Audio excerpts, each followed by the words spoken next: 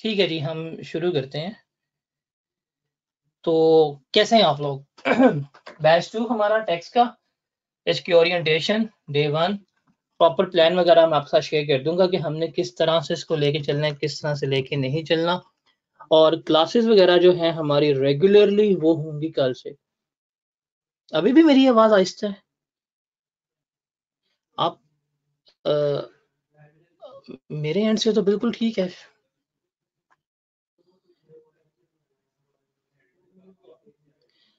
अब अपना माई speaker check करें। मेरे एंड से बिल्कुल ठीक है इस वक्त।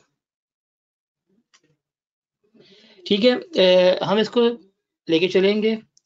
आपके जो क्वेश्चन आंसर्स हैं, वो आप प्लीज़ होल्ड पे रखिएगा। वो सारे के सारे हम at the end of session address कर रहे होंगे। सब्जेक्ट का नाम हमारा कैफ टू टेक्स प्रैक्टिसेस एक जमाने में कैफ टू इकोनॉमिक्स होती थी, और टेक्स जो है था, वो कैफ सिक्स होता था। अब जमाना इस तरह से चेंज हुआ है कि कैफ टू जो पुराने वाली थी वो नहीं रही और जो नया वाला कैफ टू है वो टैक्स प्रैक्टिस है। स्प्रिंग 22 की अटेम्प्ट के लिए एक तो नई स्कीम है, उसके थोड़े से परस्पेक्टिव डिस्कस हम कर लेंगे। उसके अलावा जो सिलेबस का चेंज आया है, वो भी हम क्या कर लेंगे, थोड़ा इसके साथ डिस्कस कर लेंगे। और प्रॉपर प्लान मैं शेयर कर दूँगा कि हमारी क्लास किस तरह चलेगी किस तरह नहीं चलेगी। कौन सा स्टडी मटेरियल होगा टेस्ट हम कितने लेंगे, कितने टेस्ट नहीं लेंगे ईच एंड एवरीथिंग मैं अभी आपके साथ डिस्कस कर दूँगा। इस सब्जेक्ट के जो डायनामिक्स हैं, वो भी हम डिस्कस करेंगे और इसके रीजन ऑफ़ फेलियर भी हम डिस्कस कर लेंगे। सबसे पहले थोड़ी बात करते हैं कि सी एम के थोड़े फीचर्स वगैरह, उनकी ज़रा बात कर लेते हैं कि सी एम क्यों सी एम या कौन सी ऐसे आपको फीचर्स ऑफ़र कर रहा है, जो बाकी इदारे आपको ऑफ़र नहीं कर पाते? सबसे पहली बात, जो एक पर्टिनेंट क्वेश्चन हम दो तीन दिनों से फेस कर रहे हैं, खासतौर पे मैं मतलब कोई बच्चा जब नया ज्वाइन करता है, एक सवाल तो वो लाजमी पूछा और मैं उसका जवाब दे दे के थक गया हूँ कि, सर, क्या आप बैच मर्ज कर देंगे? Sir the answer is no batch merge नहीं होगा। ये डेडिकेटेडली इसी टाइम का बैच है, ये थ्रू आउट द सेशन इसी टाइम रहेगा। कोई बैच किसी भी क्लास के साथ मर्ज नहीं किया जाएगा और टाइमिंग थ्रू आउट यही रहेगी। तो डेडिकेटेड बैच है, किसी के साथ, किसी भी क्लास के साथ इस बैच को throughout the session merge नहीं किया जाएगा। इसको आप वाजह तौर पर आज ही अपने जहन पे लिख लें। नंबर वन नंबर टू हमारी जो क्लासेस होंगी, वो हंड्रेड परसेंट इंटरेक्टिव होंगी। आज चूँकि वेबिनार है और वेबिनार में पब्लिक भी होती है और ऑडियंस ज़्यादा होती है, इसलिए हम इसको सॉरी ओरिएंटेशन है तो इसको हम गो टू वेबिनार पे कर रहे होते हैं, जहाँ पे वन वे कम्युनिकेशन सिर्फ़ मैं बोल रहा हूँ और आपके जो सवाल वगैरह है, वो आप टाइप करके पूछ रहे होते हैं। कल से क्लासेस होंगी, हमारा सॉफ्टवेयर चेंज हो जाएगा और हम मूव कर देंगे गो टू मीटिंग के ऊपर। जो go to meeting go to meeting होगा, वो टू वे इंटरेक्टिव सॉफ्टवेयर होगा, जिसपे आप लोग भी अपना माइक ऑन करके सवाल पूछ सकेंगे और आप टाइप करके भी सवाल पूछ सकेंगे। एक प्रॉपर जो डिस्कशन वाला एनवायरनमेंट होता है फ़िज़िकल क्लास का, वही हमारा कल से शुरू होगा कि बोथ एंड से कम्युनिकेशन की जाएगी तो एक प्रॉपर इंटरेक्शन आपको प्रोवाइड किया जाएगा। नंबर थ्री जो सबसे बड़ा फीचर जो सिर्फ़ सी ए मेड ईजी के स्टूडेंट्स के लिए है, जो किसी को नहीं दिया जाएगा, वो है hundred percent free crash course at the end of the session पिछले दो सेशन से सी ए मेड ईजी और उनकी टीम जो है, वो क्रैश कोर्सेज वगैरह प्रोवाइड कर रही है। हम हर सेशन के एंड के ऊपर लास्ट मंथ के ऊपर, पाँच छः पाँच दिन का छः दिन का क्रैश कोर्स प्रोवाइड करते हैं। इस बार भी किया था, मैंने एफ़ वन का और टेक्स का किया था बट अब थोड़ी सी हमने पॉलिसी चेंज की है। इस बार will offer ten days free crash course for our students के जो सी ए मेड ईजी के बच्चे होंगे आखिरी महीने में फेबररी के महीने पे, हम उनको 10 दिन का क्रैश कोर्स ऑफ़र करेंगे जिसमें दो, ढाई घंटे की क्लास होगी और ये लाइव होगा प्लस इनकी जो रिकॉर्डिंग होगी वो भी इन बच्चों को जो सी ए मेड ईजी के हैं, इनके लिए अवेलेबल रहेगी। लेकिन जो आउटसाइडर्स होंगे, हम उनको ये वाला इस बारी फीचर नहीं देंगे बिकॉज़ ये फीचर प्रिविलेज है सिर्फ़ और सिर्फ़ किसके लिए? सी एम ए डी के स्टूडेंट्स के लिए। तो आपको क्रैश कोर्सेज प्रोवाइड किए जाएँगे लाइव भी, उनकी रिकॉर्डिंग भी, और इसका कोई एक रुपया भी आपसे चार्ज नहीं किया जाएगा। और रिकॉर्डिंग जो होगा, वो आपका प्रिविलेज होगा। इस बारी मार्केट में जो स्टूडेंट्स होते हैं, उनको सिर्फ़ हम लाइव ही प्रोवाइड करेंगे, हम उनको रिकॉर्डिंग वगैरह नहीं देंगे। नंबर थ्री पे टाइम टेबल जो है, वो हमारा डेडिकेटेड रहेगा। हम उसको चेंज नहीं करेंगे।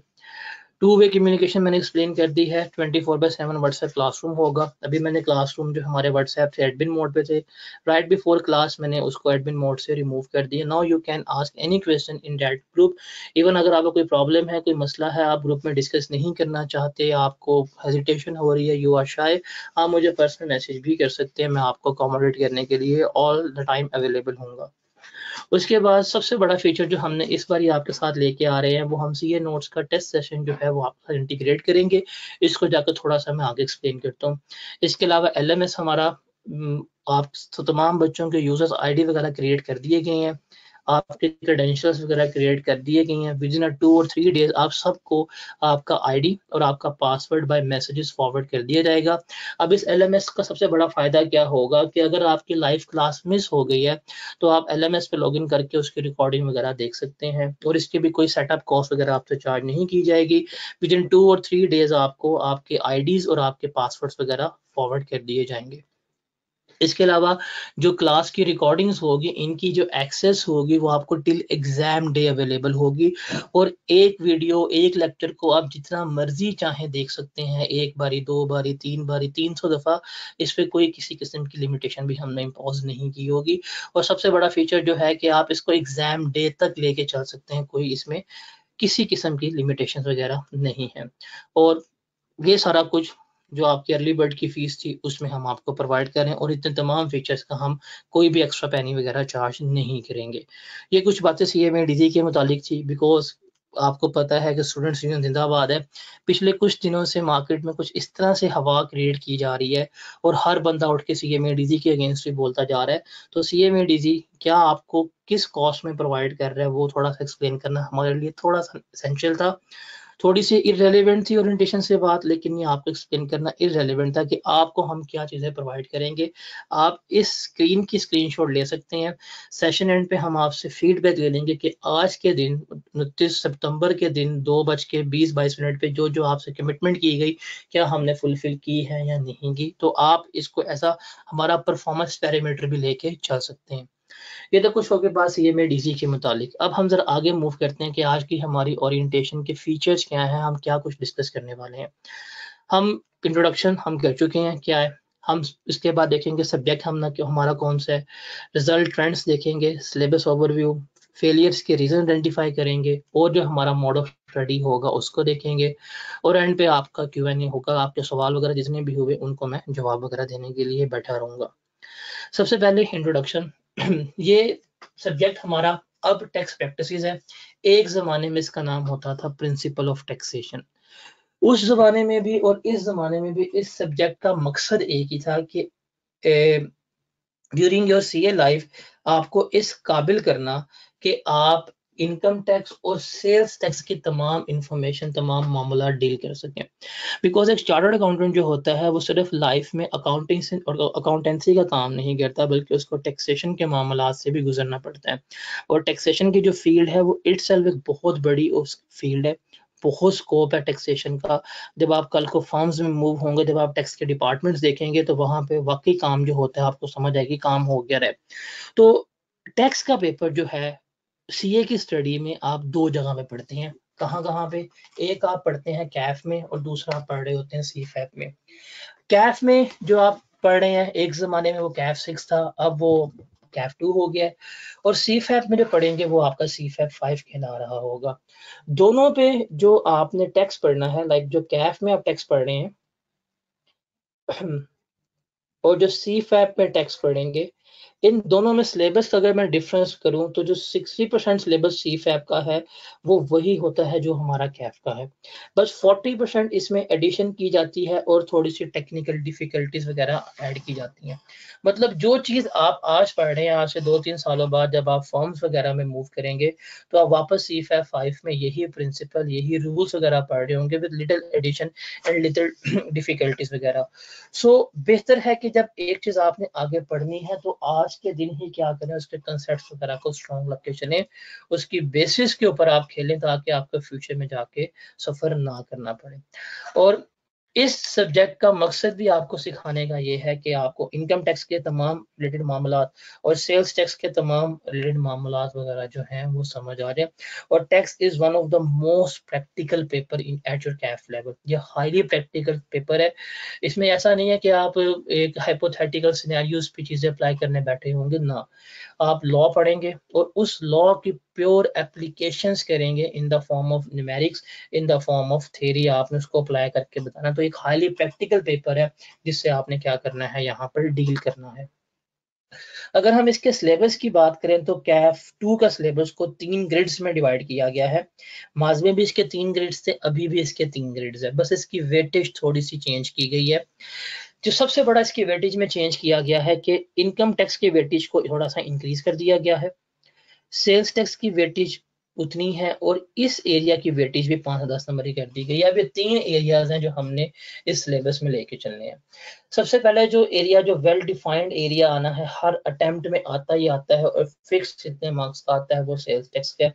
इस एरिया में हमने सीखना होता है कि सेल्स टैक्स क्या होता है, किस तरह हम उसको अप्लाई करते हैं, किस तरह उसकी कैलकुलेशन की जाएगी, क्या मोड है, किस तरह चार्ज किया जाएगा, हम सारा एक सेल्स टैक्स का प्रोसीजर सीख रहे होते हैं। अगर आप अपने डेली लाइफ में देखें, आप कोई भी चीज़ परचेज करने जाते हैं तो आप उसके ऊपर सेल्स टैक्स पे करके आ रहे होते हैं। जब सेल्स टैक्स पे करके आ रहे होते हैं, हमने पूरा वो प्रोसीजर समझना है कि सेल्स टैक्स का इंसिडेंस किस तरह से रेज होता है, किस तरह से चार्ज होता है, कौन पे करता है गवर्नमेंट के पास किस तरह जाता है, हमने ये पूरा प्रोसीजर सीखना है। और इस सेल्स टैक्स को सीख के एग्ज़ाम में जो इसकी टेस्टिंग है, वो 20 से 30 नंबर की होगी और ऑन द एवरेज 25 से 28 नंबर का सवाल सेल्स टैक्स में से आता ही आता है। उसके बाद जो दूसरा एरिया बड़ा नन्ना मुन्ना सा एरिया छोटा सा एरिया वो एरिया हमारे पहले तीन चैप्टर्स होते हैं आई किताब के। क्योंकि अभी तक आई की किताब नहीं आई, इसलिए चैप्टर वन टू थ्री होते हैं लास्ट थ्री चैप्टर होते हैं चैप्टर के सीक्वेंसेस चेंज होते हैं, उसके ऊपर हम अभी कुछ नहीं कह सकते। मोस्ट प्रोबेबली नेक्स्ट वीक में आई अपनी बुक्स वगैरह पोर्टल के ऊपर इशू कर देगा। अब इसमें तीन चीज़ें हमने डिस्कस करनी होती हैं। एक तो हम बेसिक्स ऑफ़ टैक्सेशन डिस्कस करते हैं। अगर आपको याद हो, शायद आप लोगों को तो याद नहीं होगा बिकॉज़ मेजोरिटी आप में से बच्चे वो हैं जो एएफसी से उठ के आ रहे हैं। लेकिन जो पुराने कैफ के बच्चे हैं, अब तो सारे बच्चे बराबर हो गए, क्या नया, क्या पुराना। जब भी नई स्कीम इंप्लीमेंट होती है, हर बच्चा बराबर हो जाता है, हर एक की अटैम्प्ट ज़ीरो हो जाती है। तो अब जो बच्चे हैं, जिनको इकोनॉमिक्स का थोड़ा बहुत आइडिया हो इकोनॉमिक्स में आप ये चीज़ें पढ़ के आ रहे होते थे कि टैक्स क्या होता है टैक्सेशन के टाइप्स वगैरह क्या होती हैं, ये सारा कुछ आप लोगों ने इकोनॉमिक्स में पढ़ा होता है। तो उसी से रिलेटेड एक चैप्टर हमारा बेसिक्स ऑफ़ टैक्सेशन का होता है कि टैक्सेस क्या होते हैं टैक्सेस के टाइप्स वगैरह क्या होते हैं वो हमने इस, इस ग्रेड में डिस्कस करना होता है। उसके बाद जो एथिकल रिस्पॉन्सिबिलिटीज होती हैं टैक्स पेयर की टैक्स डिपार्टमेंट की फंडामेंटल प्रिंसिपल ऑफ़ एथिक्स वो हम इसमें से डिस्कस करेंगे। और दूसरा जो हमारा कॉन्स्टिट्यूशन है, आईने पाकिस्तान और मुल्क पाकिस्तान के तमाम जो फाइनेंस से रिलेटेड प्रोविज़न हैं, थोड़ी बहुत हमने वो डिस्कस करनी होती हैं। अब इस ग्रिड में थोड़ा सा चेंज आया है। नई स्कीम आई है, नया सिलेबस अपडेट हुआ है तो इस ग्रिड में थोड़ा सा चेंज आया है। थोड़े से एथिक्स के उस चैप्टर में चेंजेस आई हैं, कुछ एडिशन की गई हैं और कॉन्स्टिट्यूशन के चैप्टर में थोड़ी से सेक्शंस वगैरह ऐड किए गए हैं। वेटिंग फॉर बुक अगर आई क्या अपने बुक अगले वीक तक ठीक है, वरना जो एडिशन है वो मैं आपको आपको बता दूँगा और बुक कौन सी होगी वो थोड़ी मैं आपको बाद में गाइड करता हूँ। तो ये जो दो एरिया है, बड़े सिंपल से एरिया है डिफाइंड एरिया है।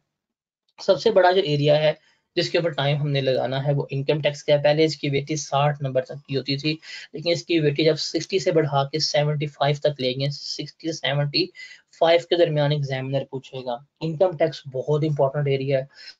सबसे बड़ा एरिया इसमें हमने देखना है इनकम क्या होती है इनकम कैलकुलेट किस तरह की जाएगी सोर्सेज ऑफ़ इनकम क्या होती हैं, फिर टैक्स की कैलकुलेशन किस तरह की जाएगी टैक्स कैसे लगता है, कैसे पे किया जाएगा रिटर्न्स क्या होती हैं, किस तरह रिटर्न फ़ाइल की जाती है रिटर्न्स के एरर्स हैं अपील्स किस मतलब पूरा जो इनकम टैक्स का प्रोसीजर है, किस तरह इनकम की जनरेशन से लेके खजाने में टैक्स की पेमेंट तक हमने सारे का सारा यहाँ पे सीखना है। अब चूँकि इसकी वेटेज थोड़ी सी बढ़ा दी गई है तो अब इनकम टैक्स का जो एरिया होगा, वो मजीद टेक्निकल आया होगा। अगर आप पूछें, सारे पेपर थ्रेटिकल है? आंसर इज़ नो आप आप पूछें पेपर ये न्यूमेरिकल है? Again the answer is no it is a mix paper इसमें से न्यूमेरिकल क्वेश्चन भी आएँगे थ्रेटिकल क्वेश्चन भी आएँगे। किस तरह के क्वेश्चन आएँगे? क्या सीधे क्वेश्चन आएँगे? The again answer is no क्या नॉलेज बेस आएँगे? अगेन आंसर इज़ नो ये एक प्रैक्टिकल पेपर है, जो आपको कानून सिखाया जाएगा, जो आपको लॉ सिखाया जाएगा। उस लॉ लॉ को पेपर में अप्लाई करना होगा आपने कैलकुलेशंस करनी होगी तो ये प्रॉपर एक एप्लीकेशन बेस्ड पेपर है, थोड़ा टेक्निकल पेपर भी है, इसको हमने इस तरह से लेके चलना है। ये आपको डराने के लिए नहीं कह रहा कि पेपर टेक्निकल है पेपर मुश्किल है पेपर आसान है। अगर आप कंसेप्ट पे चलेंगे, मेरे साथ साथ चलेंगे, जिस तरह ज़िंदगी गुलजार है, उस तरह पेपर भी गुलजार आपका हो जाएगा। तो ये सिलेबस हमारा ये है। अब इसका इन डेप्थ एनालिसिस में यहाँ पे नहीं कर रहा कि इनकम टैक्स में सेक्शन कौन कौन से हैं बिकॉज़ वो इरेलीवेंट है, अभी आप उन चीज़ों से अवेयर नहीं होंगे। बट हमारे सिलेबस के तीन एरियाज़ हैं मेन तीन ग्रेड्स के इसको हम इस तरह से लेके चलेंगे। सिलेबस के बाद हम जरा बात करते हैं एग्ज़ाम पैटर्न की कि एग्ज़ाम पैटर्न हमारा क्या होगा। अभी तक क्योंकि ये कैफ सिक्स से बिलोंग करता था तो कैफ सिक्स में जितने हमारे पेपर हुए हैं टेक्स्ट के, उसमें जो क्वेश्चंस हमारे आते थे, वो आठ क्वेश्चन आते थे इस सब्जेक्ट से रिलेटेड एक एग्ज़ाम में। जरा पेपर का स्ट्रक्चर समझना इस ग्रिड से कि ये ग्रिड जो है, इस ग्रिड को एग्ज़ाम में एग्जामिनर किस तरह से टेस्ट करता था। आठ क्वेश्चन आते थे। इन आठ क्वेश्चन में से दो जो क्वेश्चन होते थे, वो हमारे सेल्स टैक्स से रिलेटेड आते हैं। और इन दो क्वेश्चन में से एक क्वेश्चन ऐसा होता था जो हमारा न्यूमेरिकल होता था। मतलब अभी भी एग्ज़ाम पैटर्न हमारा यही होगा चेंज नहीं होगा। और ये न्यूमेरिकल की वेटेज कोई 17 से 19 मार्क्स के दरमियान तक का आता था। और एक क्वेश्चन आता है थियरी का, जिसमें most probably part A part B और पार्ट सी डी होते हैं और ये कोई 10 से 12 नंबर का सवाल आता है। तो इन आठ सवालों में से जो आपको एग्ज़ाम में आने होते हैं, दो सवाल तो डिफाइंड किसमें से आते हैं? हमारे सेल्स टैक्स में से आ रहे होते हैं। और ये तीस नंबर तक का वो हमसे पूछ लेता है और हर अटेम्प्ट में दो ही सवाल होंगे।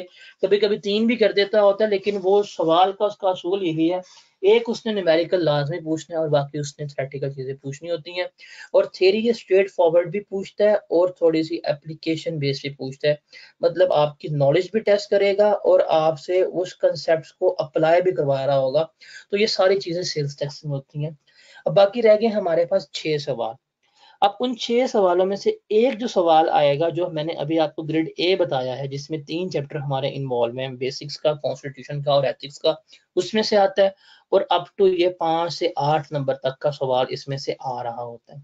समटाइम्स वो पार्ट ए में समटाइम्स पार्ट बी में पूछ लेता है समटाइम्स एक सादा सा सवाल पूछता है और एक दो अटैम्प्ट में उसने इस एरिया में से कोई सवाल पूछा ही नहीं था एग्जामिनर ने।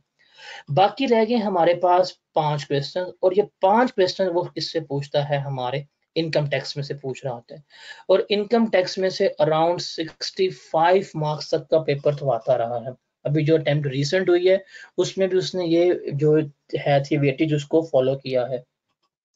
अब इनकम टैक्स को वो टेस्ट करता है किस परस्पेक्टिव से? एक तो वो न्यूमेरिकल पूछेगा, बड़े वाला न्यूमेरिकल जिसके marks up to twenty marks तक का न्यूमेरिकल पूछता है। एक वो शॉर्ट न्यूमेरिकल पूछेगा दस नंबर का अप टू टेन नंबर बाकी तीन जो सवाल होंगे, वो थ्रेटिकल क्वेश्चन होंगे, जिसमें से एप्लीकेशन भी आपसे होगी नॉलेज की, आपसे स्ट्रेट फॉरवर्ड क्वेश्चन भी होंगे, और थोड़ी बहुत स्लाइटली कैलकुलेशन या डिसीज़न वगैरह वो आपसे रिक्वायर कर सकता है। तो जो इनकम टैक्स जो सबसे बड़ा एरिया है, अभी तक के जो एग्ज़ाम हुए हैं, उसमें से पाँच सवाल वो इनकम टैक्स से पूछ रहा होता है।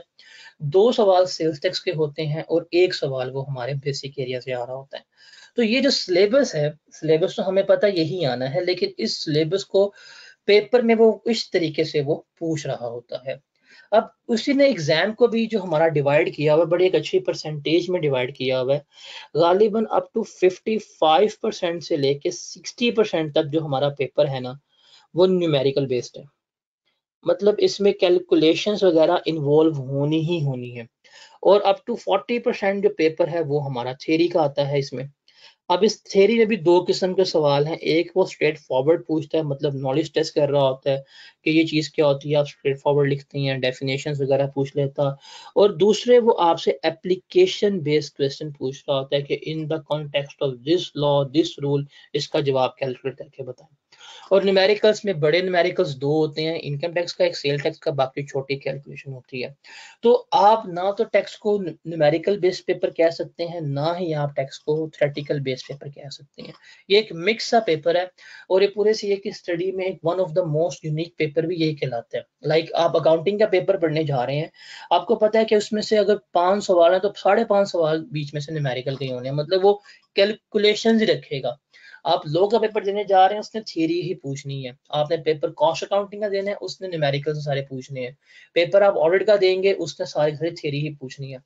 टेक्स्ट का पेपर एक ऐसा पेपर होगा at this level CAF even at higher level C FAP में भी, कि इसमें आपको न्यूमेरिकली प्रिपेयर भी होके जाना पड़ेगा, आपको थ्रेटिकली प्रिपेयर भी होके जाना पड़ेगा। आप किसी भी एक एंड पे वेल प्रिपेयर्ड नहीं होंगे तो आपका पेपर मिसमैनेज हो जाएगा। पेपर में पास होने के चांसेस जो है, वो कम हो जाएँगे। तो हमने दोनों परस्पेक्टिव से इसको तैयार करना है। आप में से अक्सर बच्चे होते हैं, अभी फजूल बुक मतलब फेसबुक के ऊपर जाएँगे, थोड़े दिनों बाद लाइक कि पेपर है, क्या करें, क्या ना करें, और वहाँ पे ऐसे ऐसे हीरे आएँगे कि थेरी कर लें न्यूमेरिकल्स कर लें, ये कर लें, वो कर लें। भाई, आप उनके मशवरे अगर मानते जाओगे ना पेपर आप अपने फिल करवाते जाओगे। एक चीज़ अभी हमारा सेशन स्टार्ट नहीं हुआ मतलब अभी हमारा पूरा बैच चल रहा है।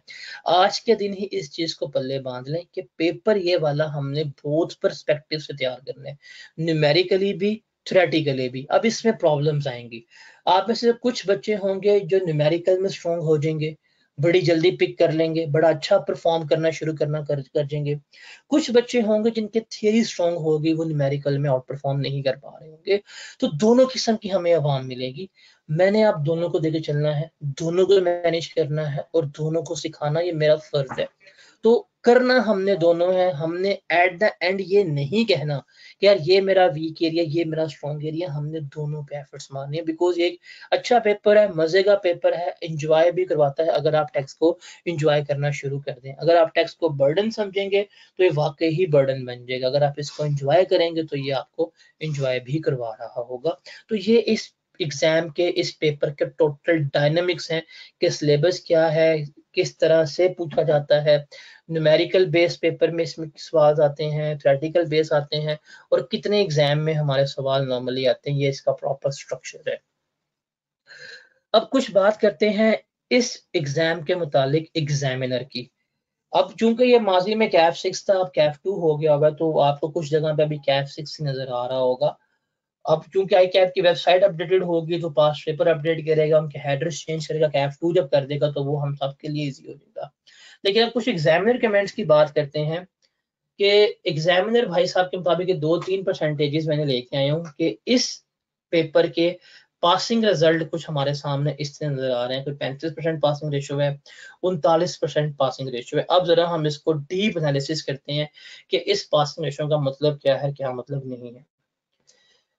सबसे पहले, आपको पता पाकिस्तान में एक बहुत मशहूर एक वो हुआ था स्लोगन क्यों निकाला? याद है आप लोगों को?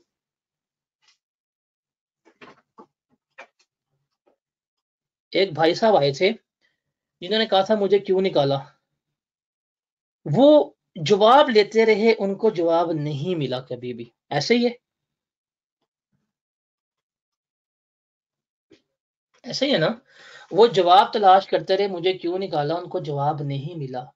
वो जो मुझे क्यों निकाला वाले भाई साहब थे ना, वही भाई साहब का रेप्लिका होता है सीए का स्टूडेंट क्या होता है सीए का स्टूडेंट वो हर अटेम्प्ट में अगर खुदा ना खास्ता फेल हो, वो सवाल यही करता है हर जगह जाके, यार, मुझे आई कैप ने क्यों निकाला? भाई, मैंने तो इतनी पढ़ाई की थी, मैंने इतना पढ़ा था, इतना पढ़ा था जितना पढ़ा जा सकता था, लेकिन ये चार पाँच महीनों में कितना बड़ा पढ़ा जा सकता था? ये हर बच्चे के मुँह पे होता। आप नहीं यकीन तो 16 नवंबर को आप देख लीजिएगा, हर बच्चा यही कह रहा होगा कि हमने चार पाँच महीने में इतना पढ़ा था कि भाई दुनिया फतेह कर दी थी, लेकिन आई ने फेल कर दिया। आई कैप जान के फेल करता है एंड वो all those lame and all lame thing शुरू हो जाएगी। लेकिन प्रॉब्लम ये है, आप लोग शोर तो कर रहे होते हो कि मुझे क्यों निकाला? लेकिन जिस बंदे से पूछना चाहिए, आप उस बंदे से नहीं पूछ रहे होते। आप पूछते हो जाके अपने दोस्तों से आपका दोस्त कहता, यार, मैं तो पढ़िया नहीं सी। मैंने आखिरी महीने पे जाके क्रैश कोर्स लिया, मैं पास हो गया। जैसे ही आपने चीज़ सुननी है, आपने डिप्रेशन में चले जाना, यार, मैंने चार महीने पढ़ा, मैं पास नहीं हुआ। वो मनहूस एक एक में पढ़ के पास हो गया। आप डिप्रेशन। आप जाएँगे फेसबुक के ऊपर, यार, मैंने इतना पेपर किया था, ये देखो मेरा पेपर, ये मैंने मार्क्स लिखे हुए थे, मुझे आई कैब ने फेल कर दिया। फिर वहाँ पे शुरू हो जाएगा आई कैब जान के फेल करता है कोटा होता है, और एंड ऑल दीज थिंग्स आप अपनी प्रॉब्लम लेके आते हैं, लेकिन प्रॉब्लम का सोल्यूशन आप गलत बंदे से मांग रहे होते हैं। आपको, आपका पेपर किसने लिया? आई कैप ने। आपको चेक किसने किया? आई कैप ने। आपको फेल किसने किया? आई कैप ने। तो आपको, आपके फेलियर का रीजन कौन बताएगा? आई कैप के आपका दोस्त या फेसबुक जरा बताएँ। आई कैप तो इस सवाल का अप्रोप्रिएट जो जवाब आपने लेना है, वो आई कैप से लेना है। और आई कैप जो है, हर अटेम्प्ट में बता रहा होता है कि हमने बच्चों को इस पेपर में इस वजह से फेल किया है। लेकिन हम लोग इन एग्जामिनर कमेंट्स को कभी भी नहीं पढ़ते। ये हमारे आयरनी है कि हम, हमें जो चीज़ आई कैप बताता है, हम वो नहीं करते। और जो आई कैप बता रहे कि भाई चीज़ों पे ओवरकम करो, वो हम नहीं करते और हम एक लूप में रिपीट होते रहते हैं और उस लूप में फिर हम एक दूसरे को डिग्रेड और डिमोटिवेट करने में लगे होते हैं। तो भाई अगर आपको आई कैप फेल कर रहा है, किसी भी एग्ज़ाम में तो वो उसने रीजनिंग दी है, उसने लॉजिक दी है।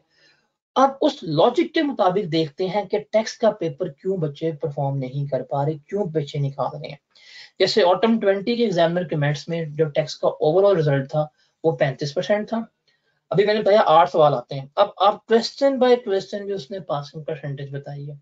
अब आप देखिए question number six worse attempted underperform question number five worst attempted question number three worst attempted question number one भी क्या था? वर्स्ट अटेम्प्टेड था। भाई एग्जामिनर ने तो आपको क्वेश्चन बाय क्वेश्चन बता दिया कि ये ये परफॉर्मेंस है। मजीद वो किस तरह बताए आपको कि बच्चों के फेलियर के रीजंस क्या हैं? वो तो बता रहा है। लेकिन हम जो हैं हम कभी भी एग्जामिनर की इन बातों को नहीं सुन रहे होते। अब जैसे उसने बताया कि जी परफॉर्मेंस जो है वो आपकी डिक्लाइंड हो गई है अंडर परफॉर्मेंस क्या थी, क्यों थी कि आपकी नॉलेज सही नहीं थी, आप प्रैक्टिकल सिचुएशंस पे नॉलेज सही तरह अप्लाई नहीं कर पाए, आप एग्ज़ाम की रिक्वायरमेंट्स को प्रॉपरली नहीं पढ़ रहे होते। उसने जनरल गाइडेंस भी दी है और उसने फिर आगे जाके कमेंट क्वेश्चन बाय क्वेश्चन भी गाइडेंस दिया कि इस क्वेश्चन में ये प्रॉब्लम थी, इस क्वेश्चन में ये प्रॉब्लम थी, इस क्वेश्चन में ये प्रॉब्लम थी। इसका मतलब एग्जामिनर जो है, अगर वो रिज़ल्ट देता है फेल करता है तो वो उस फेलियर की रीजंस भी आइडेंटिफाई कर रहा होता है। आप खुद बताएँ, अभी जो एएफसी से बच्चा मूव हुआ है, उसको तो इस चीज़ का नहीं पता होगा, लेकिन जो कैफ वाले बच्चे पुराने हैं क्या आपने अभी तक अपनी लाइफ में तैयारी करते हुए क्या इन एग्जामिनर कमेंट्स को संजीदा लिए टिल टुडे नो तो भाई टाइप करके बता दो।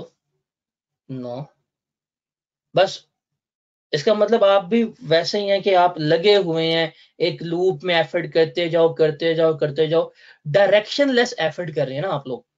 जैसे मैं एक चीज़ प्रिपेयर कर रहा हूँ, मुझे उसका पता ही नहीं है कि यार इसके अंदर एग्जामिनर क्यों फेल कर रहा है, क्यों पास कर रहा है, मुझे वो तो पता ही नहीं है डायनेमिक्स क्या है। और मैं अन्य एफर्ट्स करूँगा तो क्या होगा, मैं भी वही गलतियाँ रिपीट करूँगा जो मुझे एग्जामिनर ने हाईलाइट की हुई है। तो सर, ये चीज़ें इंपॉर्टेंट है। हमने अपनी तैयारी में इस सेशन में इनको साथ साथ लेके चलने हर चैप्टर में, हर क्वेश्चन में जहाँ जहाँ पॉसिबल होगा, हमने ये एग्जामिनर कमेंट जो भाई साहब हैं, इनको, इनकी हमने बात सुननी है। और इसकी फिर जो गाइडेंस है हमने वो अपने ऊपर अप्लाई करनी है, ताकि हम वो गलतियाँ ना कर सकें जो ये लोग करे की थी। मतलब 84 परसेंट लोगों ने गलती वो कॉमन की थी, जिसकी वजह से वो इस क्वेश्चन में पासिंग मार्क्स सिक्योर नहीं कर पाए। आप देखें कितनी गंदी परसेंटेज है। तो ये एक अटेम्प्ट का मसला नहीं है, ये हर अटेम्प्ट का मसला है।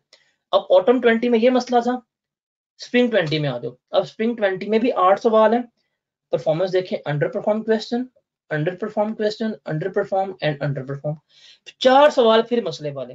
अब उसने बताया सारा के थ्रेटिकल एरिया नहीं कर पाते नॉलेज नहीं है पूरे प्रेजेंटेशन है थ्रेटिकल नॉलेज अप्लाई नहीं कर पाते प्रैक्टिस नहीं होती उसने प्रॉपर आपको गाइडेंस दी है।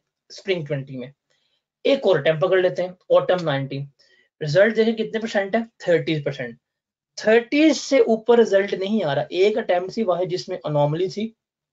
फिफ्टी परसेंट से ऊपर टैक्स का रिज़ल्ट आ गया था। उसके अलावा नहीं आया। अब इसमें जरा आप एक सवाल पे गौर करें। ये क्या भाई 96 परसेंट ऑफ़ स्टूडेंट्स इस सवाल में पास और पासिंग मार्क्स ही नहीं स्कोर कर पाए। वर्स्ट अटेम्प्टेड क्वेश्चन आठ सवाल आए हैं, जो मैंने बताया था पेपर में आते हैं, अब आप देखें। ये एरिया देख लें, ये एरिया देख लें, ये एरिया देखें, ये एरिया देखें। मतलब ये जो कंजेक्टिव चार सवाल हैं, इसमें तो बच्चा परफॉर्म नहीं कर पा रहा। और क्वेश्चन फोर में उसने परफॉर्म किया नहीं। अब एग्जामिनर ने रीजन बताई है। लेकिन जो यहाँ पे 69 परसेंट लोग जो फेल हुए हैं, आप लिख लें मेरे से, उन्होंने कभी भी जाके ये कमेंट्स नहीं पढ़े होंगे। वो फेल होने के बाद आई कैप को ही कोसते होंगे एग्जामिनर को कहते होंगे, या जिनसे पढ़ा है उनको ही बुरा भला कहते होंगे, लेकिन इन 69 परसेंट लोगों को जिसको आई कैप ने फेल किया, उसने भाई तमाम रीजन बताई हैं कि तुमने ये ये सवाल में ये चीज़ें की हैं, लेकिन बच्चों ने कभी पढ़ी ही नहीं होगी। जैसे इसमें भी बताई है उसने कि सिलेक्टिव स्टडी थी अंडरस्टैंडिंग नहीं थी इरेलीवेंट वर्किंग की है प्रॉपर प्रेजेंट नहीं किया। तो ये सारा कुछ एग्जामिनर बता रहा है। लेकिन ये जो आबादी है, ये सुनने के लिए तैयार नहीं बैठी होती। देखिए, जिसका पेपर पास हो गया, उसको तो अब इससे कंसर्न ही नहीं है कि एग्जामिनर कमेंट्स क्या थे, कितने परसेंट रिज़ल्ट है, उसको तो कंसर्न ही नहीं है। उसके अगर ये मेरा पेपर पास है, वो खुशियाँ मनाएगा। कंसर्न किन के लिए होता है? इन लोगों के लिए। तो इन लोगों को चाहिए कि इसको पढ़ा करें, और आने वाले जो इस सब्जेक्ट को पढ़ रहे हैं, किसी भी सब्जेक्ट को पढ़ रहे हैं उनको इससे इबरत लेनी चाहिए कि क्या हम इनमें शामिल ना हो जाए। जो इन्होंने गलतियाँ की हैं, वो हमने नहीं करनी। तो डेट्स वाई एग्जामिनर कमेंट्स हर पेपर के लिए क्या होते हैं? बहुत ज़्यादा इंपॉर्टेंट होते हैं। जैसे स्प्रिंग 19 अब इसमें भी सवाल आठ है। ये देख ले। एक, ये, दो, तीन, चार, पाँच। पाँच सवाल अंडर परफॉर्म्ड है। और तमाम रिजन तो यह कि बच्चों को लॉ की क्रक्स नहीं पता इरेलीवेंट लिखते हैं प्रैक्टिकल सिचुएशंस नहीं क्रिएट कर पाते रीड नहीं करते प्रॉपर प्लान सवाल प्लान नहीं करते स्पेसिफिक नहीं लिख पाते वाइड वेग स्टेटमेंट दे आते हैं तो प्रॉपर वो बता रहा है। तो हर अटेम्प्ट का जो रिज़ल्ट है एग्जामिनर ने बताया हुआ है। तो इन तमाम नॉलेज पे अगर हम इसको समराइज करना चाहें कि reasons of failure in this subject क्या है, ये बड़ी इंपॉर्टेंट है। अगर इसमें से आपको एक भी रीजन समझ आ गई और आपने उसके ऊपर ओवरकम कर लिया, आपका पेपर पास हो जाएगा। अब जो एग्जामिनर के इतने कमेंट्स हैं, उन कमेंट्स को अगर हम समराइज करें तो उसने हमें कुछ पॉइंट्स बताए हैं कि यार ये ये चीज़ें हैं। अब मैं पॉइंट डिस्कस करता हूँ, आपने खुद सोचना है, क्या आप में ये जो है, ये रीजंस हैं या नहीं है? आप ये काम करते हो, आज के दिन के नहीं करते, आपने चीज़ें गौर करनी है। सबसे पहले जो हमें डिस्कस किया है सिलेक्टिव स्टडी सिलेक्टिव स्टडी सबसे बड़ा रीजन है फेलियर का। हम इसे कहते हैं सिलेक्टिव स्टडी प्रॉब्लम नहीं है बच्चों के लिए। ये गुनाह है, जो आप सरजद जान के करते हो और अपना पेपर आप जो है वो फारग करवा लेते हो। ये वाकई सिलेक्टिव स्टडी जो है वो गुनाह है। कैसे? अब दो बच्चे देखें। एक बच्चा है जिसने पूरा पेपर तैयार किया, पूरा सिलेबस तैयार किया। वो आई कैप के एग्ज़ाम में जाता है। वो आठ के आठ सवाल अटेम्प्ट करके आते हैं। अब एक बच्चे ने आठ के आठ सवाल अटेम्प्ट किए। अगर इसके फिफ्टी परसेंट मार्क्स भी आते हैं तो भाई इसके पचास नंबर आएँगे, ये पास हो जाएगा। लेकिन दूसरा बंदा, उसने सिलेक्टिव स्टडी की थी। उसने दो टॉपिक ही छोड़ दिए। अब उन दो टॉपिक छोड़ने की वजह से वो सिर्फ़ और सिर्फ़ छह सवाल अटेम्प्ट कर पाया। लेट सपोज़ वो छह सवाल अटेम्प्ट किए, वो अस्सी मार्क्स के थे। और अगर ये फिफ्टी परसेंट ये भी मार्क्स क्योर करे तो कितने मार्क्स क्योर कर पाएगा? चालीस नंबर। तो रिज़ल्ट क्या होगा? ये पेपर पास नहीं कर पाएगा। तो जो सिलेक्टिव स्टडी आप करते हैं, आप जब अपने एरियाज़ को छोड़ना शुरू करते हैं, आप टॉपिक को छोड़ना शुरू करते हैं तो ग्रेजुअली क्या होता है? आप अपनी फेलियर के नज़दीक जाना शुरू हो जाते हैं। बिकॉज़ अगर आठ सवाल आए हैं, आप नहीं कर पाए, आपने एक सवाल छोड़ दस नंबर का अल्टीमेटली आपने नाइनटी मार्क्स का पेपर अटेम्प्ट किया है तो नाइनटी में से फिफ्टी परसेंट अगर आपने मार्क्स सिक्योर किए हैं, या आपकी नीयत ये थी तो भाई फोर्टी फाइव मार्क्स आएँगे फिर। अगर फिफ्टी का बेंच मार्क क्रॉस करने तो दो चीज़ें चाहिए। नंबर वन सिलेक्टिव स्टडी नहीं होनी चाहिए। नंबर टू तैयारी इतनी अच्छी होनी चाहिए कि जो सवाल कर रहे हो, उसमें से पासिंग मार्क्स आने चाहिए। कैसे आते हैं? सारा गाइड करूँगा कि अगर 20 नंबर का भी सवाल किया है, उस 20 नंबर में से भी आप हँसते खेलते हुए within five to six minute आप बारह नंबर सिक्योर कर सकते हैं। वो तमाम टिप्स टिप्स एंड टेक्निक्स हम आगे सीखेंगे। लेकिन यहाँ पे जो सबसे बड़ी प्रॉब्लम आइडेंटिफाई इस सब्जेक्ट में की गई है, या किसी भी सब्जेक्ट में सीए में है, वो सिलेक्टिव स्टडी है। सिलेक्टिव स्टडी आपने नहीं करनी। अब ये कहा कि सिलेक्टिव स्टडी नहीं करनी तो बच्चों ने कहना, सर, क्या करें? ये तो सिलेबस बहुत बड़ा है। हम कैसे करेंगे? हम तो थक जाएँगे and all thing sir selective study नहीं करनी। हमने जो स्टडी करनी है उससे हम कहते हैं segmented study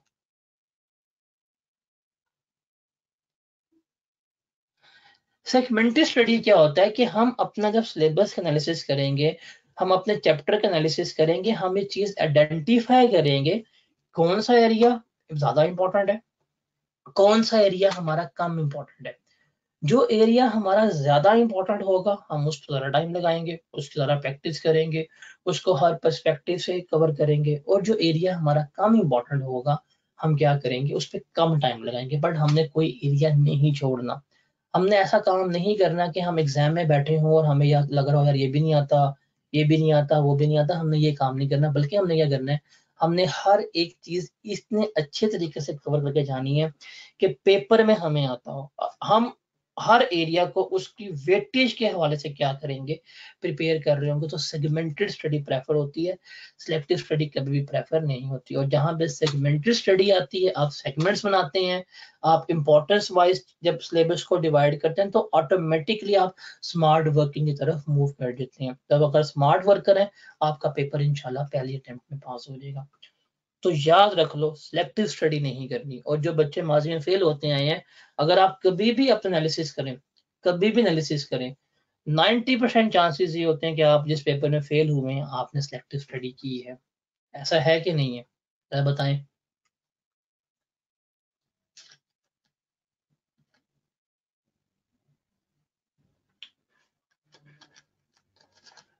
Is it like that or not?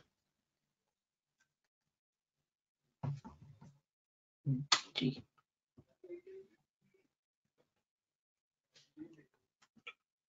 दूसरा पूरा प्रेजेंटेशन ये भी एक बहुत बड़ा मसला है। हम लोगों को पेपर प्रेजेंट नहीं करना आता। न्यूमेरिकल्स में तो हम लोगों को यही नहीं पता कि प्रेजेंटेशन क्या होती है। और जहाँ पे भी आता ना वर्ड इसका, बच्चे समझते हैं कि इसका मतलब है कि पेपर के ऊपर हमने वो डिज़ाइनिंग करनी है और ये बड़ा नीट एंड क्लीन नहीं, भाई चीज़ों को प्रेजेंट करना सीखना है। न्यूमेरिकल्स करने हैं फॉर्मेट क्या होगा? थेटिकल क्वेश्चन कर रहे हैं, उसको सॉल्व करने का पैटर्न क्या होना चाहिए? क्या चीज़ पहले लिखनी चाहिए? डिसीज़न कहाँ पे लिखना चाहिए? जजमेंट कहाँ देनी चाहिए? रेलिवेंट लॉ कहाँ पे प्लेस करना है? ये चीज़ें आती हैं प्रेजेंटेशन में। इसका मतलब ये नहीं कि आप राइटिंग बहुत नीट हो राइटिंग नीट हो, अच्छी बात है। लेकिन ये नहीं है कि आप इतना प्यारा लिख रहे हो पेपर फुल टाइम आपने डेकोरेट किया, ये इससे मुराद नहीं। ये है कि सवालों को प्रेजेंट करने का तरीका किस तरह से होना चाहिए, सवाल का स्ट्रक्चर क्या होगा ये सारी उसकी बात होती है। जैसे न्यूमेरिकल्स में जो हम लोग अक्सर बच्चे गलती करते हैं, क्योंकि आप लोगों को नहीं बताया जाता कि फिगर्स को हम किस तरह प्रेजेंट करते हैं। जैसे एक बच्चा है, जिसको नहीं पता एग्ज़ाम में उसने अमाउंट लिखने को किस तरह लिख लेगा अमाउंट ये सेवन ये फाइव लिखा, और ये ज़ीरो ज़ीरो ज़ीरो ज़ीरो इस तरह वो साढ़े सात लाख की अमाउंट लिख के आ जाएगा। अब उसने अमाउंट ठीक लिखी है अमाउंट है भी ठीक बट ये एक अच्छी प्रेजेंटेशन टेक्निक नहीं है। क्यों? बिकॉज़ सबसे पहले तो एक असूल याद रखें, जब भी आप नंबर्स में डील कर रहे होते हैं, हर तीन नंबर्स के बाद आपने कोमा लगाना होता है।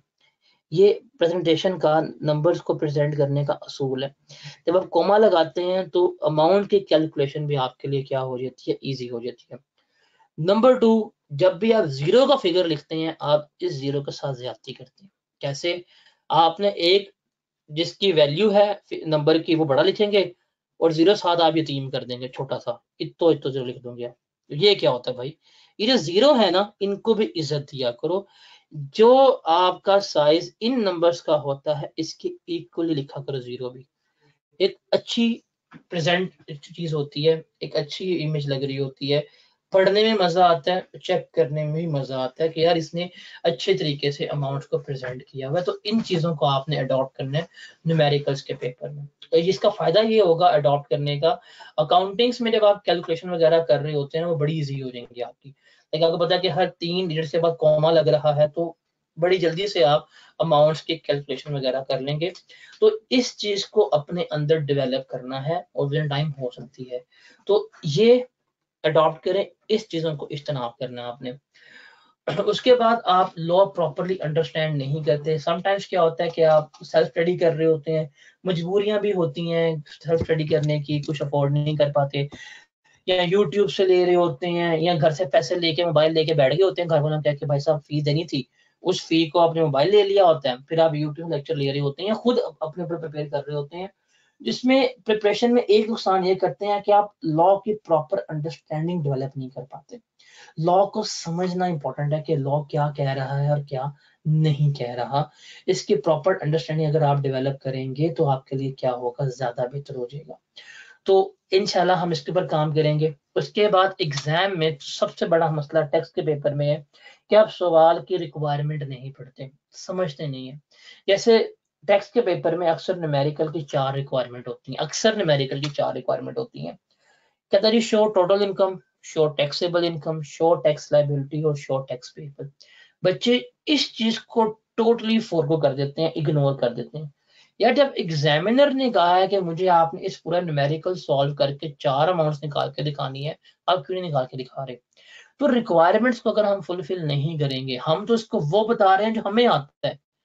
हम उसको वो नहीं बता रहे जो उसको रिक्वायर्ड है।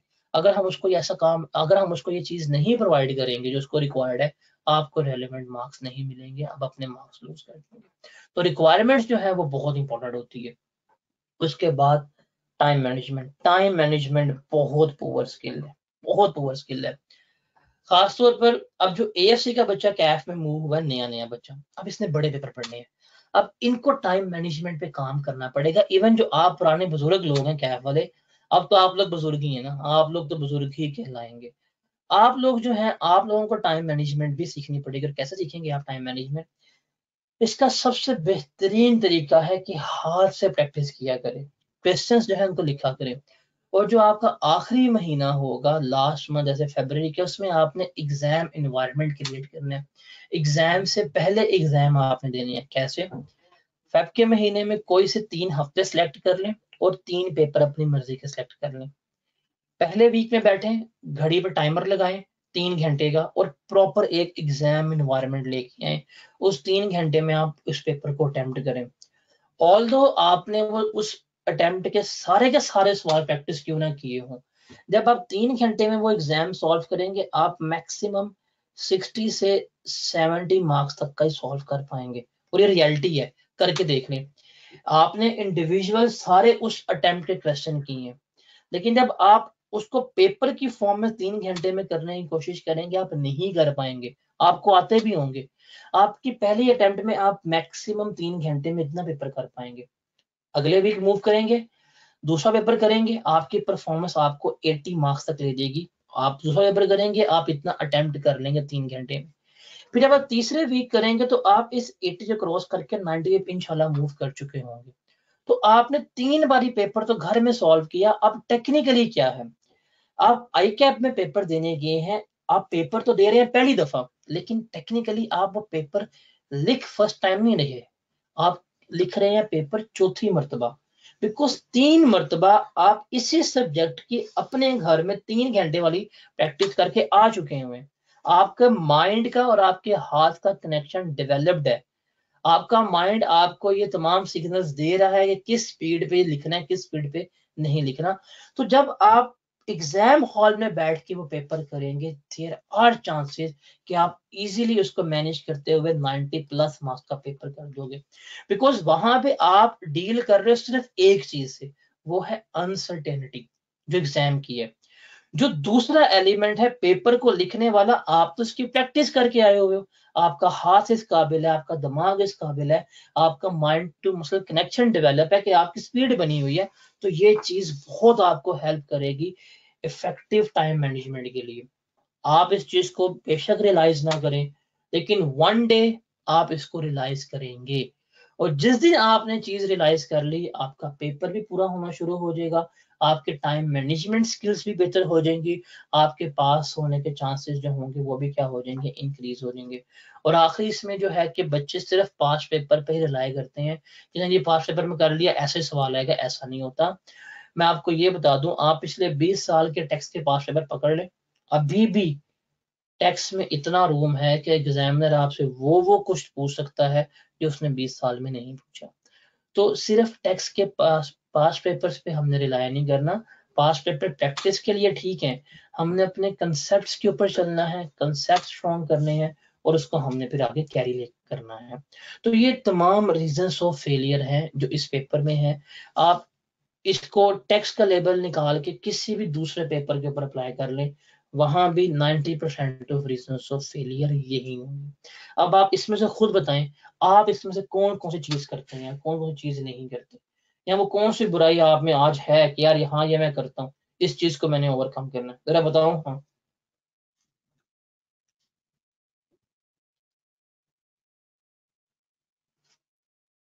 ऑल चीता आदमी सीधा सच बोला है।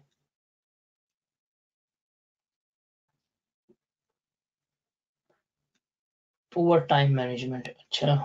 टाइम मैनेजमेंट बेहतर हो सकती है, भाई बताया आपको मैंने। किस तरह से टाइम मैनेजमेंट बेहतर हो सकती है। तो ये चीज़ें हमने ओवरकम करनी है। ये चीज़ें हमने ओवरकम करनी है। ये नहीं कर लेंगे। कर लेंगे नहीं। करनी है। कर लेंगे में और करनी है में। बहुत डिफरेंस है।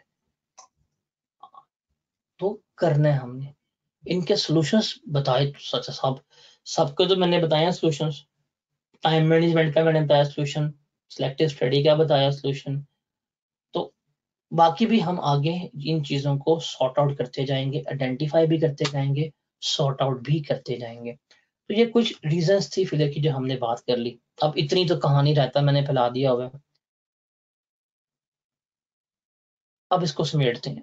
अब इतनी तमहीदे बांधी, तरीफे की मेडी जी की भी, आपको इस चैप्टर इस सब्जेक्ट के डायनेमिक समझा दिए एग्जामिनर कमेंट्स वगैरह बता दिए। अब हमने कैसे पढ़ना है? किस तरह हम इस सेशन को लेके चलेंगे? वो जो बुक्स वाले सवाल आ रहे थे नोट्स वाले आ रहे थे, अब हम जरा उनको एड्रेस करते हैं। ये समझाने के बाद फिर आपके क्यू एन ए और जितने भी सवाल वगैरह होंगे, मैं उनके लिए हाजिर होऊँगा। तो मॉडल स्टडी हमारा क्या होगा? सबसे पहले तो आपके डेडिकेटेडली क्लासेस हुआ करेंगे। इसी टाइम पे सवा दो से साढ़े तीन तक। लेक्चर आपके पास होंगे और उनकी कोशिश है कि 99 परसेंट मैं आपको लाइव ही कराऊं। एक चैप्टर जो होगा वो मैं आपको in the form of recording provide करूँगा। इसके अलावा कुछ प्रैक्टिस क्वेश्चंस ऐसे होंगे जो मैं आपको रिकॉर्डिंग के फॉर्म में प्रोवाइड किया करूँगा। लाइक अगर एक चैप्टर के दस सवाल मैंने आपको करवाने हैं तो छह मैं लाइव करवाऊँगा, तीन मैं रिकॉर्डिंग की फॉर्म में अपलोड करूँगा और एक मैं आपको करने के लिए दिया करूँगा। तो इस रेशो से कुछ एडिशनल प्रैक्टिस क्वेश्चन जो होंगे वो मैं रिकॉर्डिंग की फॉर्म में अपलोड करूँगा। अब एडिशनल प्रैक्टिस क्वेश्चन से क्या मुराद है? लाइक like, कुछ क्वेश्चंस आईसीएमए के हो सकते हैं कुछ क्वेश्चंस होते हैं जो सी के मैं करवाता हूँ। असाइनमेंट्स की फॉर्म में दे देता हूँ या समटाइम्स मैं करवाने की कोशिश करता हूँ बट बच्चे नहीं कर पाते। तो इस बार उनको मैं रिकॉर्डिंग्स की फॉर्म में अपलोड करूँगा। लेट 99 परसेंट डाटा होगा वो हम लाइव ही करेंगे बट कुछ चीज़ें ऐसी हैं जो रिकॉर्डिंग की फॉर्म में हम इसको अपलोड किया करेंगे। तो मैंने आपको पहले बता दिया है हार्डली ये एक चैप्टर होगा या कुछ सवाल वगैरह होंगे। उसके बाद जो सबसे बड़ा फीचर है, जो सिर्फ़ सी ए मेड इजी के स्टूडेंट्स को है, कि हमने इस बार सी ए नोट्स जो test dot C A notes है, जिससे आप लोग अवेयर होंगे, उसका टेस्ट सेशन आपके साथ इंटीग्रेट कर दिए अब इसके मुताबिक क्या लेंगे हम, आपसे 15 टेस्ट लेंगे थ्रू आउट द सेशन जिसमें से पहले तीन टेस्ट जो होंगे, वो आपके होंगे बिफोर रिज़ल्ट रिज़ल्ट से पहले पहले हमने आपके तीन टेस्ट लेने हैं। और रिज़ल्ट के बाद हम आपके 12 टेस्ट लेंगे वीकली बेसिस के ऊपर। और इन 12 टेस्ट में एक मिड टर्म होगा और एक मॉक शामिल होगा। तो टोटल इस तरह से हम आपके टेस्ट लेंगे। अब इस टेस्ट का स्केड्यूल मैंने बनाया होगा लेकिन बैचेस ज़्यादा हैं। अब एक चीज़ थोड़ी सी कंफ्यूज थी कि बैच वाइज इसको करना है हमने, कि हमने एक एग्रीगेटिव एग्रीगेट स्केड्यूल लेके चलना है। जैसे मुझे मैनेजमेंट कंफर्म करेगी आज तो मैं आपसे उसका टेस्ट स्केड्यूल भी शेयर कर दूँगा कि इस डेट पे हमारे इन टॉपिक्स के टेस्ट होंगे। वो सिर्फ़ है कि batch by batch different test लेके चल रहे हैं, क्या वो बस एक छोटी सी कंफ्यूजन है? मैनेजमेंट के एंड से वो खत्म हो जाएगी यार। तो ये पंद्रह टेस्ट हैं, ये जो आपको यहाँ पे दिए जाएँगे। क्या सिर्फ़ टेस्ट लिए जाएँगे? Again the answer is no इस टेस्ट के साथ आपको असाइनमेंट्स भी शेयर किए जाएँगे। और मेरा इन असाइनमेंट्स के साथ बहुत बुरा तजर्बा है। पहला दिन होता है, आप लोगों की एम्स हाई होते हैं, जज्बाती होते हैं, सर, हम ये भी कर लेंगे, हम वो भी कर लेंगे, हम ये सारा कुछ कर लेंगे। आप लोग कुछ नहीं कर पाते। लास्ट सेशन में हार्डली एक आधे बच्चे ने कोई तीन चार असाइनमेंट की थी। टेस्ट की परफॉर्मेंस की बात करूँ, मेरे पास लास्ट सेशन का तमाम डाटा पड़ा हुआ है। ऑन एवरेज एक बच्चे ने हाफ़ टेस्ट दिए मतलब अगर हम टोटल बारह टेस्ट को डिवाइड करें ना एक बच्चे के ऊपर। तो एक बच्चे ने एक टेस्ट भी प्रॉपर नहीं दिया। ये तमाम डाटा कंपाइल पड़ा हुआ है। ये जो टेस्ट हैं ये जो असाइनमेंट हैं ये मेजर रोल प्ले करेंगे उन तमाम चीज़ों को ओवरकम करने का जो आप करना चाहते हैं। लाइक like, ये जो हमने सारी यहाँ बातें की reason failure in reason of failure को ओवरकम अगर हम करना चाहते हैं ना तो उसको ओवरकम करने का सबसे जो बेहतरीन तरीका जो प्लेटफॉर्म है जो वे है वो यही है टेस्ट और असाइनमेंट अब टेस्ट में क्या होगा कि टीए भाई साहब हायर किए हुए टेस्ट बनेंगे मेरी मर्ज़ी से और वो चेक वो किया करेगा और वो उसके लिए आप टेस्ट डॉट सी नोट्स के पोर्टल पे जाएँगे, वहाँ पे टेस्ट अपलोड किए जाएँगे। आपको उनकी एक्सेस वगैरह सारा कुछ प्रोवाइड कर दिया जाएगा। वो सारा काम मैनेजमेंट किया उसके लिए आपको परेशान होने की ज़रूरत नहीं है। चेक भी वहाँ पे हुआ करेंगे सोल्यूशन भी वहाँ पे अपलोड हुआ करेंगे। असाइनमेंट्स जो हैं, ये मैं ग्रुप में शेयर किया करूँगा। अभी थोड़ी देर पहले अगर आपने देखा हो, मैंने ग्रुप में गूगल ड्राइव का लिंक शेयर किया है। अब उस गूगल ड्राइव में असाइनमेंट्स वगैरह, इस तरह चीज़ें अपलोड हुआ करेंगी डेली बेसिस पे, और मैंने डिस्क्रिप्शन में भी उसको डाल दिया ग्रुप की। अब असाइनमेंट्स हुआ करेंगी। असाइनमेंट्स टेस्ट से थोड़ी सी मुश्किल होती हैं। लास्ट टाइम मैंने कोई दस से बारह असाइनमेंट दी थी, और बच्चे नहीं कर पाए थे। इन असाइनमेंट्स का ये होगा कि इन असाइनमेंट्स को चेक मैं खुद किया करूँगा। टेस्ट जो है वो टीए भाई साहब चेक करेंगे। और असाइनमेंट्स जो हैं, वो मैं खुद चेक किया करूँगा और असाइनमेंट्स का डिफिकल्टी लेवल थोड़ा सा ज़्यादा होता है। इसके डिफिकल्टी लेवल थोड़ा अप रखने की रीजन है। क्यों? बिकॉज़ जो टेस्ट जो है ना, वो कंपल्शन होती है और हर बच्चा एक सर्टेन माइंड का नहीं होता, नहीं कर पाते। तो हम एक चलते हैं थीम के ऊपर कि यार एक इस तरह का टेस्ट सेट करें कि बच्चा करते हुए भी ना उसको करके पास वगैरह हो जाए। एक आई कैप का हम पैटर्न लेके चलते हैं। लेकिन जो असाइनमेंट्स होती हैं वो लीथल होती हैं। असाइनमेंट बेसिकली होती हैं आपको आपके कंफर्ट लेवल से निकालने के लिए भाई सवाल मुश्किल है, अगर आ जाए इस तरह करना है तो असाइनमेंट थोड़ी सी मुश्किल होंगी और ये मैं खुद चेक किया करूँगा। अब आपके ऊपर है, आप इन असाइनमेंट्स को सॉल्व करते हैं या नहीं करते? आप इन टेस्ट को सॉल्व करते हैं या नहीं करते? ये आपके ऊपर है। लिटरली मुझे अफसोस होता है कि स्टूडेंट अपने पाँव के ऊपर खुद कुल्हाड़ी मार रहा होता है जब हम उसको ये हर चीज़ प्रोवाइड कर रहे हैं, वो जिनको अवेल करके अपनी अटेम्प्ट सेव कर सकता है, बच्चा नहीं करता। बच्चा अपने ख्यालों में रहता है, अपना टाइम मिस मैनेजमेंट कर मिस मैनेज करता है और बाद में फिर आखिरी महीने में टकरे माता दोबारा पे जाके जब उसको प्रॉपर प्लान दिया जाता है कि यार ये ये कर लो, ये ये कर लो, ये टेस्ट दे दो, ये असाइनमेंट दे दो अपनी शॉर्ट कॉमिक्स आइडेंटिफाई करवा लो, इनके ऊपर काम करवा लो। आप लोग उस वक्त बॉदर ही नहीं होते।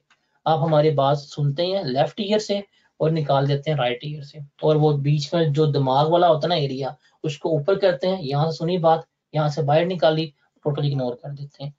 अगर कोई बच्चा भी इन एक्टिविटीज़ को सीरियस ले ले टेस्ट वाली और असाइनमेंट वाली, और अगर वो आई कैप से फेल हो जाए, मैं जिम्मेदार लिटरली मैं जिम्मेदार आप मुझे पंद्रह टेस्ट दे दें और ओके मैंने पंद्रह सत्रह असाइनमेंट्स लेनी है, ये मुझे कर दें।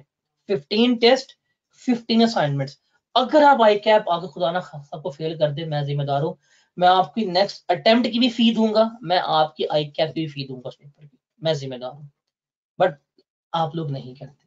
पंद्रह टेस्ट और सत्रह असाइनमेंट्स करके तो देखो, ये जब आपने कोई सत्ताईस, अट्ठाईस चीज़ें सॉल्व की हैं पेपर सॉल्व किए हैं, भाई, आप दुनिया के उस मुकाम पे पहुँच गए जहाँ पे डिफिकल्टी आप लोग कुछ रहेगी नहीं। आपने हर चीज़ एक्सप्लोर की होगी बट आप लोग नहीं करोगे, मुझे पता है। और दूसरा जो सबसे अहम फीचर जो है इनका, ये सिर्फ़ टेस्ट नहीं होंगे, सिर्फ़ असाइनमेंट नहीं होगी, बल्कि इनकी साथ में डिस्कशन भी हुआ करेगी। जिस दिन आपके टेस्ट चेक होके आपको मिल जाएँगे टीए मुझे बता देगा, सर, ये लिस्ट आपके पास आ गई है टेस्ट चेक होके। उससे वेरी नेक्स्ट डे हम एक प्रॉपर क्लास की फॉर्म में, एक सेपरेट टाइमिंग के ऊपर हम उस प्रॉपर टेस्ट को डिस्कस किया करेंगे। एंड सिमिलरली असाइनमेंट्स को भी हम डिस्कस किया करेंगे। लास्ट सेशन में दो से तीन दफ़ा मैंने ये डिस्कस करने की कोशिश की थी टेस्ट की और असाइनमेंट की। बट चूँकि बच्चे इंटरेस्टेड नहीं थे तो इसको मैंने कैरी नहीं किया। बिकॉज़ एफर्ट्स जो होती हैं, वो टू वेज होती हैं। अगर मैं एफर्ट करूँगा तो मुझे आपकी भी एफर्ट्स रिक्वायर है। अगर आप एफर्ट्स नहीं करोगे और मैं अन्य एफर्ट्स करता जाऊँगा तो मैं तो अपनी एफर्ट्स बेकार कर रहा हूँ तो अगर आप लोग भी मुझे इस तरह रिस्पॉन्ड करते जाएँगे तो मैं मजीद चीज़ें लाता जाऊँगा, आपसे काम करवाता जाऊँगा। एट द एंड क्या होगा? जब आप एग्ज़ाम हॉल से निकलेंगे तो आपके चेहरे पे खुशी होगी। आप मायूस नहीं होंगे। तो आप आज के दिन देखें कि मार्च के महीने में जब हमने एग्ज़ाम हॉल से निकलना है, हमने वहाँ पे हँसते हुए निकलना है कि हमने मायूस निकलना है। अगर हँसते हुए उस दिन निकलना ना तो भाई रोड मैप में आपको प्रोवाइड कर रहा हूँ, ये तीन चार माह थोड़ी एफर्ट्स कर लो, उस दिन खुशहाल हो गए वरना अभी खुशहाल तुम हो गए और उस दिन और उससे फिर अगले दो माह डिप्रेस हो गए और डिप्रेशन एंड ओवर थिंकिंग के मरीज़ बन जाओगे। तो ये बहुत दुख से बात कर रहा हूँ, दिल से बात कर रहा हूँ पेन लेके बात कर रहा हूँ। एवं नहीं कर रहा हूँ, बड़ी पेन लेके आपको चीज़ें समझाने की कोशिश कर रहा हूँ अगर आप में से एक बच्चा भी इस चीज़ को समझ जाए तो यकीन माने पास हो जाएगा तो उसका फ़ायदा होगा और हमें दुआएँ देगा। सेकेंडली अब आपकी जो कैफ में नई स्कीम के बाद अटेम्प्ट बहुत इंपॉर्टेंट है। आपके ऊपर टाइम के रिस्ट्रिक्शन है। इतने टाइम में कैफ क्लियर करना अब ये वो नहीं है कि एक बच्चे का कैफ शुरू हुआ है, दस साल से कैफ में लगा हुआ है। अब ये वो टाइम खत्म हो गए भाई चार साल का पीरियड लगा दिया कैफ में। चार साल में कैफ करना है, ठीक है, हो गया। अगर चार साल में कैफ ना हुआ तो भाई घर जाओ तुमसे ये नहीं कर सकते। तो टाइम लिमिटेशंस भी आ गई है with subject to some exception तो चीज़ों को समझें इंपॉर्टेंस को समझें जो हम आपको प्रोवाइड कर रहे हैं। और इन टेस्ट से कोई एक्स्ट्रा रुपीज़ चार्ज नहीं करना हमने। इन असाइनमेंट से हमने कोई एक्स्ट्रा चार्ज नहीं करना। किसी चीज़ का हमने एक्स्ट्रा चार्ज नहीं करना। ये सारा कुछ इसी चीज़ में देनी है। इसको अवेल करें अपनी अटेम्प्ट को सेव करें, अपना पेपर पास करें। और जल्दी से ये करके मार्केट में जाएँ अर्निंग पे मूव करें, अपने ड्रीम्स को अचीव करें तो इन चीज़ों को समझें। उसके अलावा जो क्लासेस होंगे डेली उनका डेली बेसिस की स्लाइड्स जो होंगी, वो मैं पीडीएफ में शेयर कर दिया करूँगा।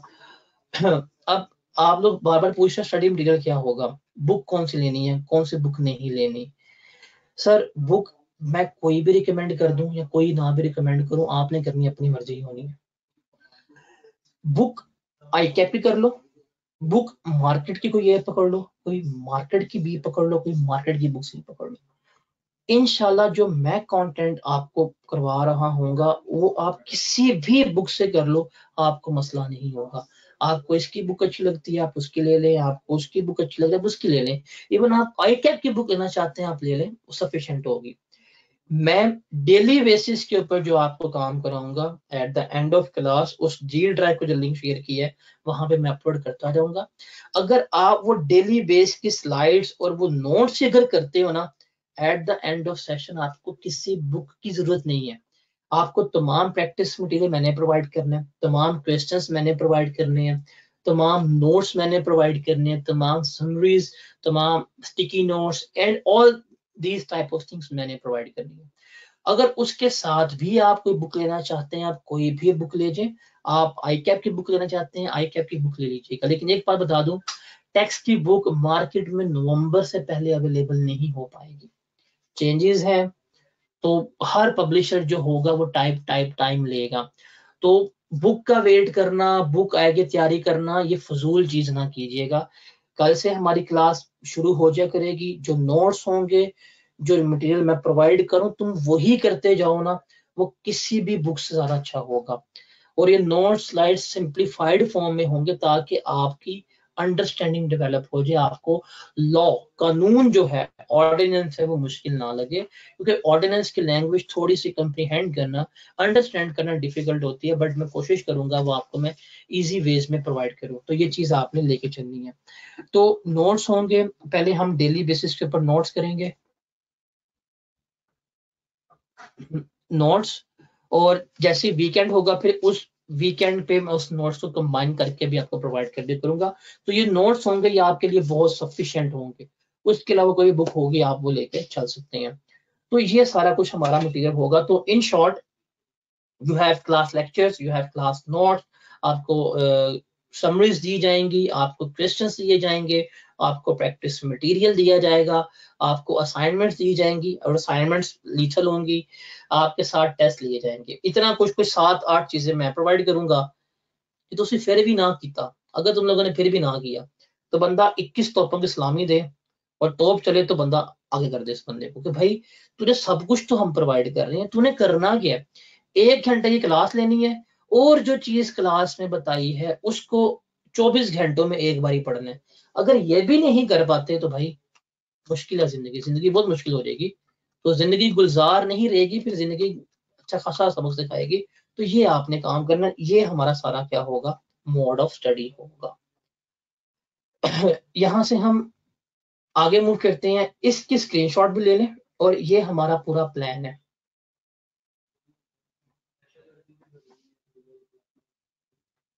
इसमें एक लाइन आइटम मिस हो होगी आखिर वाली सेल टैक्स की, वो मैं अपडेट कर दूँगा। ये जो आपको स्क्रीन नज़र आ रहा है, इसके मुताबिक चलेंगे, गालिबन यहाँ पे एक मिनट लाइन मिस हो गई है। उसमें ये है कि सेल्स टैक्स जो है, वो हमने कोई 20 से 22 जनवरी तक खत्म करना है। ये जो स्क्रीन है, ये जो स्क्रीन शॉट है, ये आपके लिए, मेरे लिए, दोनों के लिए परफॉर्मेंस पैरामीटर है। इतने दिनों में ये टॉपिक करवाऊँगा, आप लोगों ने आगे स्टेटस डन लिखते जाना है। अगर डन ना हुआ तो लिखते जाना है। आप लोगों ने मुझे रिमाइंड करवाना है, मैंने आप लोगों को रिमाइंड कराना है। बिफोर फ़र्स्ट फेबर गालिबन 20-21 जनवरी को हमारा टैक्स का जो सिलेबस होगा, वो वाइंड अप हो गया होगा। तो फेब से पहले हम सिलेबस वाइंड अप करेंगे और फिर फेबर के महीने में क्या होगा? फेबर के महीने में हम क्रैश कोर्स भी कर रहे होंगे। तो इस तरह से हम इसको लेके चलेंगे, वो मैं इसको अपडेट करके ग्रुप में शेयर कर दूँगा। तो ये हमारा क्या है? लेक्चर प्लान है, इसके मुताबिक ही हमने लेके चलना है। तो ये सारी चीज़ें हैं हमारी। अब यहाँ पे मेरी जो तमाम मोटिवेशनल और डीमोटिवेशनल स्पीचेस थी, वो खत्म हुई। मैंने आपको प्रॉपर बता दिया कि मैं किस तरह लेके चलूँगा सेशन को, किस डेट तक वाइंड अप करूँगा, क्या कुछ मैंने प्रोवाइड करना है और क्या कुछ आपने करना है। वैसे आप लोगों ने सिर्फ़ एक ही काम करना है, वो पढ़ना है। उसके अलावा बाकी हर चीज़ मैंने करनी है, इंशाल्लाह मैं कर भी दूँगा। अब जो आप लोगों को सवाल है मेरे से पूछते हैं, मैं वन बाय वन तमाम क्वेश्चन आंसर करता जाऊँगा। सर आप कौन सी बुक यूज़ करेंगे? मेरे ख्याल से मैंने बताया बुक नहीं, आपको नोट्स वगैरह मिलते जाएँगे, आपको परेशान होने की ज़रूरत नहीं है। बस सर जी, आपके साथ अहद कर लिया, हमने मेहनत करनी है। बस कर पगले। रुलाएगा क्या? ये अहद सारे बच्चे करते हैं। ये फ़र्स्ट डे का अहद होता है, जज्बाती वाला अहद। ये हफ़्ते बाद ये अहद भी खत्म और अहद वफा भी खत्म हो जाते सर, आपके नोट्स इनफ हैं तो कोई और बुक ना लें तो कोई मसला नहीं होगा नहीं होगा। सो जैसे आई कैप हार्ड फॉर्म में बुक्स प्रोवाइड नहीं करा तो अगर हम प्रिंट निकलवा चाहें तो इसका निकलवा लें आई कैप अभी जब बुक अपलोड करेगा तो उसका प्रिंट आउट ले लीजिएगा। सर आपने अपने नोट्स की एक बुक फॉर्म बना दें, हम वो ले लेंगे। I am trying my best कि मैं बुक अपनी पूरी कर लूँ बुक पे काम भी कर रहा हूँ, लेकिन नहीं, बहुत ज़्यादा इस वक्त ना स्टफ्ड है मेरे और लाइक एटीन नाइनटीन उन्नीस घंटे काम करते हैं। वो एक आधा घंटा मिल रहा है बुक के लिए तो वो करेंगे कंप्लीट नोट्स की फॉर्म में करें या करेंगे बुक इस, इस सेशन में कंप्लीट इंशाल्लाह। लेकिन आपको बुक की कमी महसूस नहीं होने देंगे। सर दिन में कितने आवर्स पढ़ने पड़ेंगे टेक्स्ट को। मैं कभी भी क्वांटिटी पे बात नहीं करता मैं क्वालिटी पे बात करता हूँ। अगर मैं कहूँ दो घंटे पढ़ने हैं और आप लोग दो घंटे पढ़ने बैठे हैं ये किताब सामने खुली हुई है वो तो किताब के पीछे मोबाइल रखा हुआ है आपने लैंडस्केप मोड के ऊपर। और वहाँ यूट्यूब पे आप सुन रहे दिल गल, दिल गलती कर बैठा तो भाई उस दो घंटे में कुछ नहीं पढ़ा आपने। तो वो दो घंटे के मैं कभी प्रेफर नहीं करता मैं तीन घंटे का प्रेफर नहीं करता। मैं प्रेफर करता हूँ कि यार कितना पढ़ा है टॉपिक क्या पढ़ा है। तो इसका best best best benchmark ये है कि अगर हमने जिस दिन जो चीज़ पढ़ी है आपने उसी को रिवाइज करना है। अब वो चाहे आपकी पंद्रह मिनट में रिवाइज हो जाए चाहे वो आपकी आधे घंटे में रिवाइज हो जाए, चाहे वो डेढ़ घंटे में हो, अगर आप रोज का काम रोज करते जा रहे हैं पेपर आपका पास है। लॉ का पेपर देने के बाद कुछ फीलिंग्स आ रही हैं पढ़ने की, ये हर पेपर देने के बाद आती है फीलिंग्स जब बच्चा उठता ना सीट से, वो कहता है अल्लाह, इस बारी पास कर दे, अगली बारी कसम से पढ़ूँगा, या इस बारी पास कर दे, अगली बारी कसम से पढ़ूँगा। तो ये फीलिंग आती है टेम्परेरी ये हफ़्ते की फीलिंग्स होती हैं। फिर वो कसम भी नहीं टूट जाती हैं कसमें। सर इंशाल्लाह हम आपके नक्शे कदम पर चलेंगे। मेरे कदम चलते पहाड़ों के ऊपर है, तुम कैसे चलोगे सर, कितने दिन क्लास होगी? बिफोर रिज़ल्ट नवंबर के महीने तक हम फाइव डेज़ करेंगे। रिज़ल्ट के बाद हम इसको सिक्स डेज़ करेंगे। संडेज ऑन नहीं करूँगा कभी भी। संडे इंजॉय करें, जाए, जिए अपनी ज़िंदगी।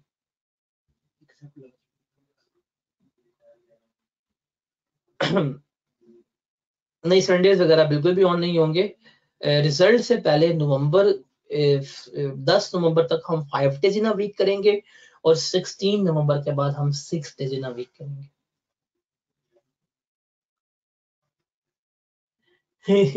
मेरे ख्याल से पाँच दिन का मतलब होता है हफ़्ता ऑफ़ और इतवार ऑफ़ और सिक्स डेज़ का मतलब होता है हफ़्ता ऑन इतवार ऑफ़ अगर आप लोगों को ये भी समझ नहीं आता तो भाई मारो, मुझे मारो। पाँच दिन का मतलब है Monday Tuesday Wednesday Thursday and Friday इसे कहते हैं पाँच दिन।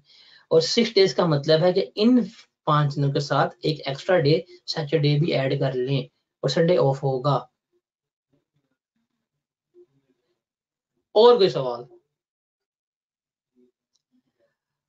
असाइनमेंट्स मुश्किल क्यों होंगी? बताया तो है कि असाइनमेंट्स उन बच्चों के लिए होते हैं जो वाकई काम करना चाहते हैं। अगर आप में पढ़ने की अर्ज़ है, करो असाइनमेंट्स अगर नहीं होंगी तो मैं हूँ ना। आप सिर्फ़ जो मैं कह रहा हूँ, चीज़ें करना तो शुरू करें। कोई परेशानी आएगी, आप मुझे बता दीजिएगा। आप ग्रुप में नहीं बोल पा रहे, आप हेजिटेट कर रहे हैं, शाये हैं कॉन्फिडेंस नहीं है कि ग्रुप में बच्चे मज़ाक उड़ाएँगे। पर्सनल बता दें मुझे। कोई टेस्ट में फेल हो गए जवाब लिखा नंबर कट गए हैं समझ नहीं आ रहा तो भाई अपने तक लेके नहीं बैठना। मुझे मैसेज कर दे कम्युनिकेट करे, मैं ऑल द टाइम अवेलेबल हूँ और मैं बॉदर्ड नहीं होता इन चीज़ों से। मुझे मज़ा आता है इन चीज़ों से। तो डिस्कस करें, मैं हमेशा आप लोगों की सपोर्ट के लिए अवेलेबल हूँ मैं तो चाहता हूँ आप लोग पास हो, अपनी अटेम्प्ट सेव करें, अपने पैसे सेव करें। मैं तो चाहता हूँ। तो अब ये आपके ऊपर है, भाई मैं तो अवेलेबल हूँ। ये जो है सेठ तो अवेलेबल है, इस सेठ को लूटना आपका काम है ना।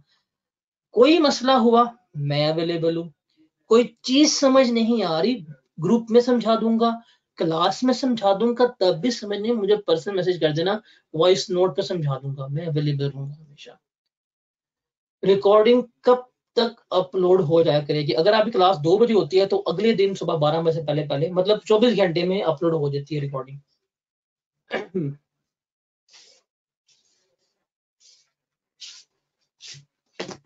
क्लास के ट्रायल कितने दिन का है? सेवन डेज़ के ट्रायल है मेरे भाई। और कोई सवाल? और किसी ने मोटिवेशन लेनी है? थोड़ी थोड़ी बिस्ती करानी है? नहीं, बिस्ती तो मैंने नहीं की। मोटिवेट कर रहा हूँ। आप एक चीज़ समझें कि आपने तीन पेपर अटेम्प्ट करने हैं। अगर आप आज ही अपने आप को मैनेज करके चलोगे ना तो आप आखिरी महीने में बड़े रिलैक्स हो गए प्रॉब्लम क्या होती है? हम अपने पहले तीन महीने मिसमैनेज करते हैं। फिर उस मिसमैनेजमेंट की वजह से हम अपने आखिरी दो महीने मैनेज करने की कोशिश करते हैं। और वो फिर टाइम नहीं होता हमारे पास। अब देखें, अभी आज से एक घंटा पढ़ना आसान है, लेकिन हम नहीं करते। लेकिन क्या होता है, हम आखिरी महीने में फिर एक सब्जेक्ट को छह छह घंटे पढ़ना चाहते हैं, और हमें पढ़ा नहीं जाता। सो मजबूरियाँ हो जाती हैं, खुदा ना खासा बीमार पड़ जाते हो। सो मसले मसाइल होते हैं तो थोड़ा प्लान करके चले। प्रोक्रास्टिनेट ना करें कि यार मैं ये भी कर लूँगा, मैं वो भी कर लूँगा, मैं ये भी कर लूँगा। ये लूँगा निकाल ले करना है, आज करना है, इसको अपनी लाइफ में लें।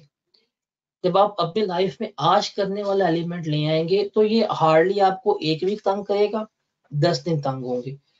दस दिनों बाद जब आपकी ये हैबिट डेवलप हो जाएगी, आपके आगे लाइफ इजी हो जाएगी। ये सिर्फ़ गेम ना, दस बारह दिनों की है। दस बारह दिनों अपने ऊपर थोड़ा जुल्म कर लें, अपनी रोज पढ़ने की हैबिट डेवलप कर लें, आप आगे जो है इजी हो जाएँगे। अगर आप आज के दस दिन सफ़र नहीं करोगे ना, फिर आप पूरा सेशन सफ़र करोगे और एंड पे फिर मुझे अफसोस होता है। एंड पे फिर लिटरली आप कैसे सर, ये छोड़ दूँ, मैं ये कर लूँ, ऐसे कर लूँगा, वैसे कर लूँगा। फिर उस वक्त मैं कुछ नहीं कह सकता, फिर मैं हाँ मैं हाँ ही मिलाता हूँ। बिकॉज़ आप पीछे चार माह सारे अपने वेस्ट करके आ चुके हो। तो ये चार माह लगा लें, आखिरी महीने में आप रिलैक्स होंगे। और आखिरी महीने में पीएसएल भी आ रही है, याद रखना। तो पीएसएल एंजॉय करेंगे सारे। ट्रायल लेक्चर्स यार सेवन डेज़ के होंगे और यूट्यूब पे अपलोड हुआ करेंगे। और कोई सवाल किसी बच्चे का है तो बता दे, अगर नहीं है तो मैं सेशन को वाइंड अप करता हूँ।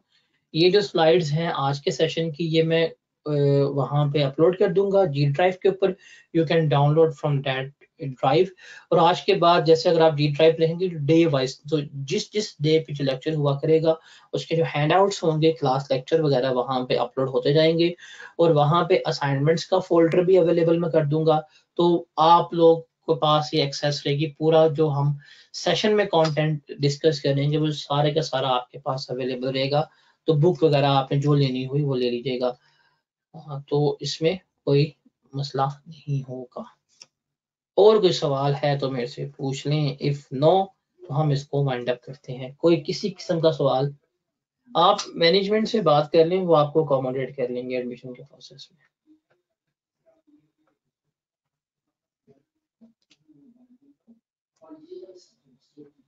टैक्स इंटरेस्टिंग है। टैक्स बहुत इंटरेस्टिंग है। मैं आपको इंटरेस्टिंग करके बताऊँगा।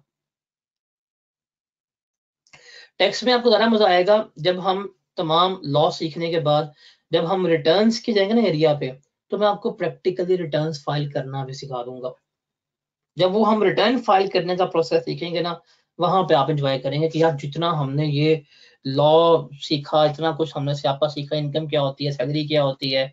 अब इसको जब हम प्रैक्टिकली कर रहे होंगे टैक्स कैलकुलेट कर रहे होंगे ना, वो बड़ा मज़ा देगा आपको।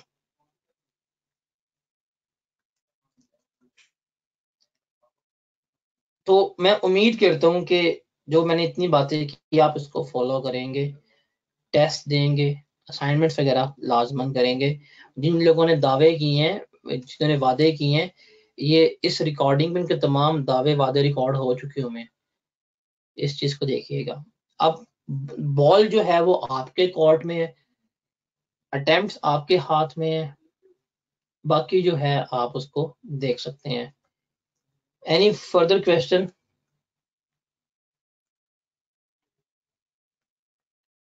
if no तो वाइंड अप कर दूँ। कल से हमारी क्लास जो होगी, इसी टाइम पे होगी बट कल हमारा सॉफ्टवेयर चेंज होगा। कल हम गो टू मीटिंग के ऊपर कर रहे होंगे, और वो टू वे कम्युनिकेशन का सॉफ्टवेयर होगा। अभी तो आप टाइप करके सवाल पूछ रहे हो, वहाँ आप अपना माइक ऑन करके डायरेक्ट सवाल पूछ सकते हैं। तो वो टू वे इंटरेक्शन जो होगी, वो कल से हमारी ऑन हो जाएगी। आज पब्लिक ज़्यादा होती है तो डेट्स वाई हम वेबिनार पे करते हैं। कल से हम गो टू मीटिंग के ऊपर चल रहे होंगे और क्लास की रिकॉर्डिंग जो होगी वो within twenty four hours L M S के ऊपर अपलोड कर दी जाएगी और एल एम एस के जो क्रेडेंशियल्स हैं वो मैनेजमेंट आपको बाय मैसेजेस शेयर कर देगी। यही बात मैंने सेशन के स्टार्ट पे बोली थी, ये मैंने पहले भी बताई है, अब मैं फिर बता रहा हूँ। और कितनी बारी पूछनी है यार? जो गो टू मीटिंग का सॉफ्टवेयर है ना ये बहुत लाइट सॉफ्टवेयर है जिसको हमने आजमा के देखे अगर आपका दो एम तक की डेढ़ एम की, की स्पीड भी आ रही है ना अगर आपकी डेढ़ एम या दो एम की स्पीड भी आ रही है तो गो टू मीटिंग चल हैं। तो 90 परसेंट जो है वो हम गो टू मीटिंग पे लेके चलेंगे। जूम जूम का एक नुकसान भी है ना अगर ज़्यादा स्ट्रेंथ हो जाए तो जूम बैठ जाते तो गो टू मीटिंग हमारा चलेगा इनशाला मेरा तो गो टू मीटिंग चलेगा। थ्रू आउट द सेशन ये बस गो टू वेबिनार का फ़र्स्ट सेशन था और लास्ट सेशन था, अब गो टू मीटिंग ही चलेगा।